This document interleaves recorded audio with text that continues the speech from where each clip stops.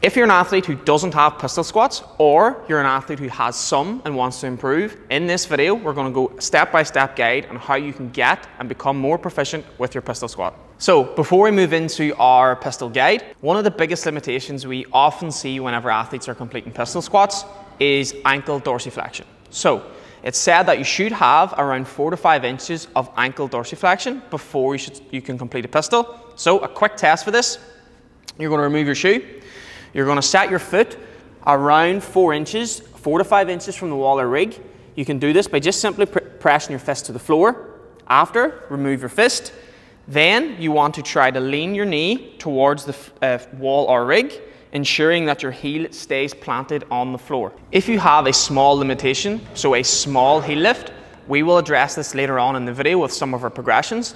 If you have a massive limitation, so really excessive heel lift, check out the mobility program in the description. First movement we have is a heel hook pistol squat. Really, really useful tool for beginners as it assists in both strength and balance aspects of the pistol squat. To get set up, you're gonna place one leg behind the other like so. So your, my laces of my left foot is on my Achilles. From here, I'm simply gonna squat and stand.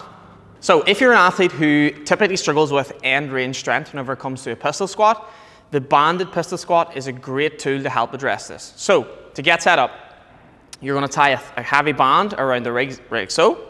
You're then just going to simply sit in the band. From here, I'm simply going to complete a pistol, full range of motion, like so.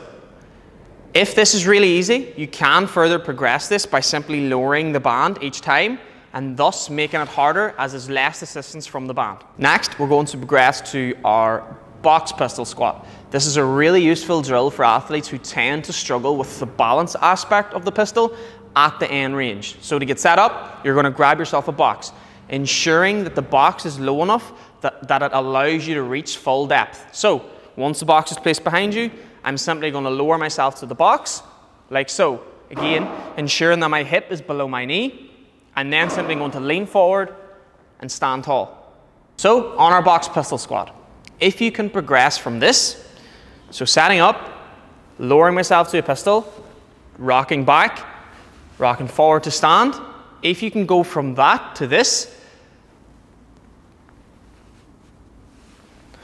showing total control through the range of motion, you can progress to our counterbalance pistol squat. So to perform the counterbalance pistol squat, you're going to need a 5 kilo plate.